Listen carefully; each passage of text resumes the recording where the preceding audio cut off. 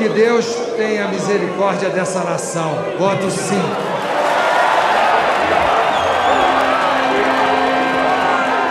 Em nome dos direitos da população LGBT, do povo negro exterminado nas periferias. Em homenagem ao povo trabalhador que hoje está nas ruas resistindo contra o golpe. Contra aqueles que se utilizam da educação para doutrinar e assediar as nossas crianças. Pela memória do coronel acima de tudo. Ficou muito claro para a sociedade brasileira qual é a aliança pelo impeachment. Um voto, que é une deputado. corruptos, torturadores e traidores da pátria.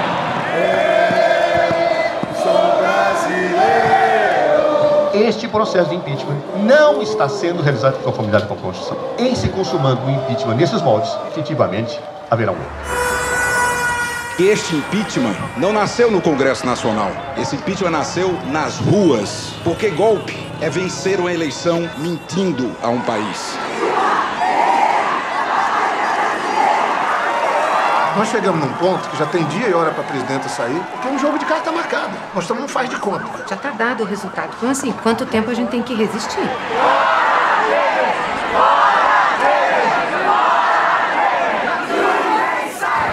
Eu estou aqui porque eu sou brasileira, na condição de apaixonada pela Constituição Federal. Que o Pedrinho assinou.